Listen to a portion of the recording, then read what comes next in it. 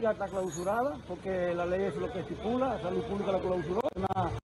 eh, fábrica de ron clandestino, de adulteración y todo eso, ahora vamos llevando los equipos, las máquinas que hay y todas las bebidas que encontramos, más las informaciones que hay aquí en los discos duros que las vamos a analizar también. Ya el equipo de salud pública tiene toda esa información, mientras tanto, para ir analizando. Se está procediendo, ya ustedes vieron todo lo que se ha encontrado aquí, se ha encontrado todos, todo lo, lo- lo necesario para la fabricación de, bebidas, eh, botellas, de barrica,